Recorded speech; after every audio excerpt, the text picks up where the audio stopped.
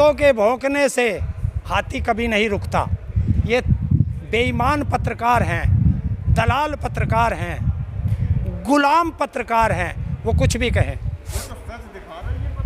कौन सच दिखा रहा? मेन स्ट्रीम मीडिया का काम है गुलामी करना, और वो गुलामी करेंगे, तलवे चाटेंगे। अब तो खबरें ये भी आ रही कि आप जिस सोशल मीडिया से आवाज़ बुलंद कर रहे थे फेसबुक के ज़रिए अब फेसबुक भी बैन हो रहा है ये बयान नहीं हो सकता। आप बिल्कुल निश्चिंत रहें। क्यों? कि झांसाराम की झांसे कौन दिखाएगा फिर? वो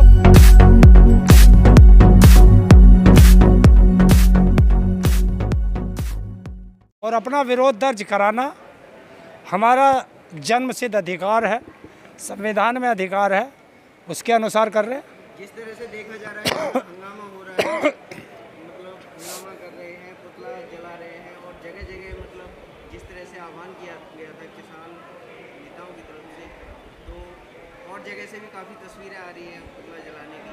तो सरकार को क्या संदेश देना चाहते हो इससे ये सरकार को एक संदेश है कि किसान छः महीने से सड़कों पे पड़ा है अपनी मांगों को लेकर।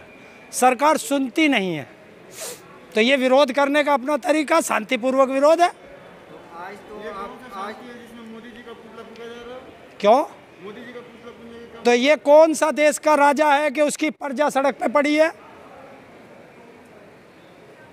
ये तो छः महीने से छः महीने से भारत का किसान सड़कों पे है।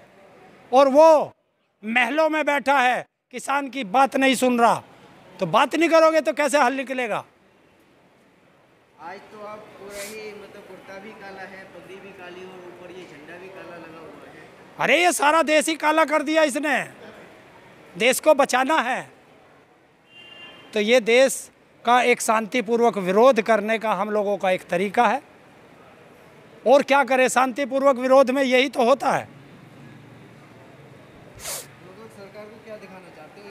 सरकार को दिखाना चाहते हो को हिंदुस्तान का किसान दुखी है। और उसकी बात क्यों नहीं सुन रहे आप लोग? तो वो नहीं सुन रही है तो हमें तो करना है। और किसान ये ठान करके बैठा है कि बिल वापसी नहीं होगी तो घर वापसी नहीं होगी। और इसका किसान हर सूरत में जवाब देगा।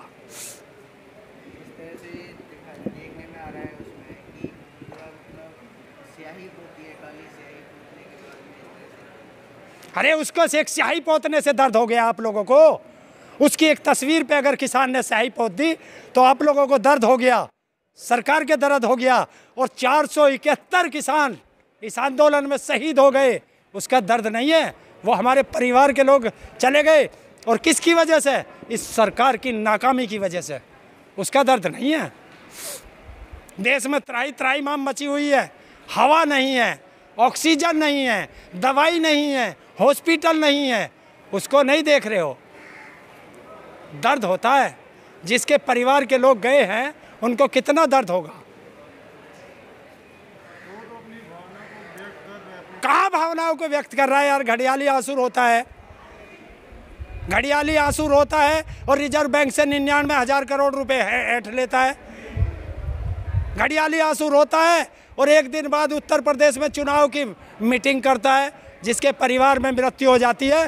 तेरह दिन तक उसके यहाँ कोई शुभ कार्य नहीं होता है। आपके राकेश टिकट रोए तो आ- वो आँसू हो गए और मोदी जी रोए तो हरियाली आँसू हमने कब कहा आके राकेश टिकैत जी रोए तो आँसू हो गए। हमने कहा कि राकेश टिकैत जी ने पानी मांगा। और उन्होंने बताया था कि कि ये गद्दार सरकार है। और इस गद्दार सरकार ने मुझे धोखा दिया तुम्हें भी धोखा देगी। ये बताना कौन सा गलत है? लेकिन सरकार तो कह रही है कि किसानों के साथ कहने से अगर किसानों के साथ है तो छः महीने से किसान पड़ा है बात क्यों नहीं कर रहे? किसान की क्यों बात नहीं मान रहे?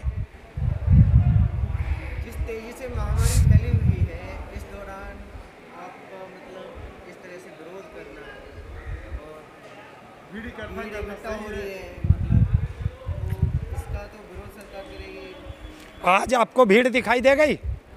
कल आप लोग कह रहे थे कि बॉर्डर पे किसान नहीं है। अगर आए बॉर्डर पे तो प्रॉब्लम। ना आए तो प्रॉब्लम। कम आदमी रखें तो आप लोगों को प्रॉब्लम। थोड़े बढ़ जाएँ तो प्रॉब्लम। तो पहले आप सरकार से पूछ के आए कि कितने आदमी बॉर्डर पे रखने हैं और कितने नहीं सरकार तो कह रही है कि इसको भीड़ इकट्ठा करना सही नहीं है अच्छा हमारे लिए भीड़ इकट्ठा करना सही नहीं है। और ये सरकारें अपने लिए चुनाव रैली करें, कुछ भी करें, वो सब इनके लिए अच्छा है। तब कोरोना नहीं होता। और बताइए बॉर्डर पे किसी किसान को कोरोना हुआ है क्या? देख- देखिए, कुत्तों के भौंकने से हाथी कभी नहीं रुकता। ये बेईमान पत्रकार हैं, दलाल पत्रकार हैं, गुलाम पत्रकार हैं। वो कुछ भी कहे। कौन सच दिखा रहा? मेन स्ट्रीम मीडिया का काम है गुलामी करना और वो गुलामी करेंगे तलवे चाटेंगे। अब तो खबरें ये भी आ रही कि आप जिस सोशल मीडिया से आवाज़ बुलंद कर रहे थे फेसबुक के ज़रिए अब फेसबुक भी बैन हो रहा है। ये बयान नहीं हो सकता आप बिल्कुल निश्चिंत रहें। क्यों? कि झांसाराम की झांसे कौन दिखाएगा फिर? वो कैसे प्रोपगंडा फैलाएगा। आईटी सेल किस चीज़ पे फिर बीजेपी की आईटी सेल किस चीज़ से अपना प्रचार करेगी? मोदी जी तो कह रहे हैं हैं? कि अभी कोई बेंच नहीं हो रहा। तो ये ये सब ये सब अफवाह है और ये एक चाल है कि किस तरीके से ट्विटर को और फेसबुक को दबाव में लेके अपना प्रचार कराया जाए अपनी गुलामियत कराई जाए लेकिन वो करेंगे नहीं क्योंकि वो विदेशी हैं। क्या तो मान लिया जाए कि जिस तरह से आप लोग फेसबुक के ज़रिए आवाज़ उठा रहे थे सरकार तक आवाज़ पहुँचा रहे थे। तो आपकी आवाज़ से सरकार डर चुकी है क्या? हाँ, डरी नहीं है और क्या है? डरी नहीं है। किसान जहाँ चाहेगा वहाँ सरकार को झुका देगा। और उसका पहला उदाहरण सरकार बंगाल में दे के आए किसान बंगाल में दे के आए हैं। तो यही तो कारण है सरकार कह रही है कि कुछ लोग हैं जो हिंसा फैला रहे हैं सरकार को मतलब कि सरकार को बदनाम कर रहे हैं सोशल मीडिया के ज़रिए। कौन सी हिंसा फैला दी भाई? बताइए यहाँ किसी ने किसी का चांटा मारा हो? बता किसके चांटा मारा? हिंसा तो वो हो चांटा मारा हो। किसी को कुछ कहा हो? शांति से सब? हिसार में तो जिस तरह पुलिस और किसान एक साथ हो रहे किसानों पे अच्छा तो किसान ने कौन से का चांटा मारा? बता। किसान पिटे। किसान ही तो पिटे किसान ने किसका चांटा मारा? बता। तो है? वो कोई एक पुलिस वाला नहीं पिटा। ईंट के रोड़े पुलिस वालों के हाथ में लाठी पुलिस वालों के हाथ में किसान पे कोई लाठी नहीं कोई ईंट का रोड़ा नहीं है? लठ बजाने की बात तो आप ही लोग बोलते हैं। कहाँ? आपके नेता बोलते हैं लठ बजाने की बात करते हैं। हमारे कौन से नेता ने कही लठ बजा दो? हमारे नेताओं ने तो ये कही है कि वो तुम्हें मारेंगे पिटेंगे जेल भेजेंगे आपको हाथ नहीं उठाना। बताइए हमारे नेता ने कौन से ने कही है? आपको छः महीने हो गए लगातार बैठे हुए। हाँ। आज आपने खूब ज़ोर शोर से प्रदर्शन भी किया विरोध भी किया इसका कपड़े पहन के झंडे के साथ में। ये सब कब तक चलता रहेगा? ये जब तक चलेगा जब तक ये सरकार किसानों के काले कानून वापस नहीं लेगी एमएसपी पे गारंटी का कानून नहीं बनाएगी ये तब तक चलेगा। और तुम छः महीने छः महीने करते हो। अरे पहला आंदोलन सरदार भगत सिंह के चाचा जी ने, अजीत सिंह जी ने लड़ा था। वो नब्बे दिन चला था। फिर आज़ादी का आंदोलन हुआ था। वो नब्बे साल चला था। तो अभी तो छः महीने हुए और आज तो वो दिन हुआ है जिस दिन हमारे नेता पहले दिन आवाज़ लगाई थी कि छः छः महीने का राशन लेके चलना। तो आज तो वे छः महीने पूरे हुए हैं। राशन तो आ गया दूसरा। अगले छः अगले एक साल का फिर आ गया।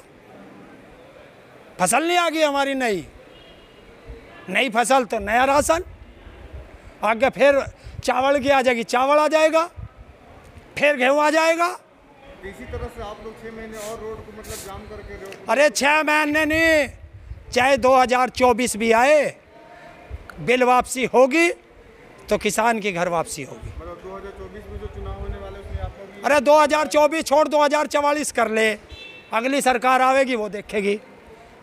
जब तक बिल वापसी से नहीं किसान नहीं जा रहा। तो कानून से प्रॉब्लम है कि सरकार से प्रॉब्लम तो कानून से। और जो सरकार कानून नहीं बदलेगी तो उस सरकार को सिर पे बैठा के रखेंगे। जैसे सरकार बना दी थी ऐसे सरकार हटा भी देंगे।